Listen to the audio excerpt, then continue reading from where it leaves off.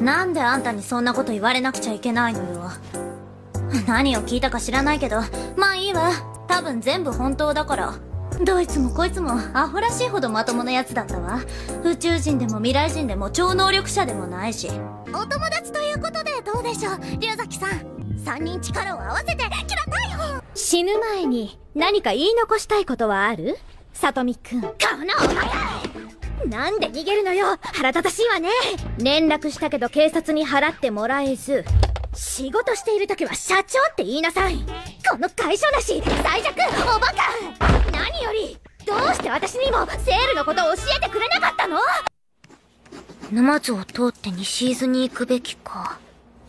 いやいや、ど真ん中を天城越えして、南伊豆へ行くのも悪くない。あれは私が殺したの。周一に責任は一切ない。けど、正当防衛でしょ？戦えるの？あんた一人で。無理ね。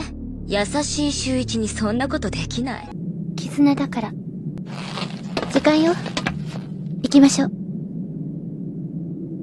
じゃあさようなら。何泣いてるの？ごめんなさい。こういう時どんな顔すればいいのかわからないの。諦めちゃう。お助けキャラがいないなら私たちにとってのホームズ。はあなたはもっとすごい魔力が強すぎて水晶が壊れるところ。魔眼は得意。声をかけてきたのは楽しかった。お父さんじゃない。親代わり。最低5人10はわからない。けど小さくはない。どどどどうする？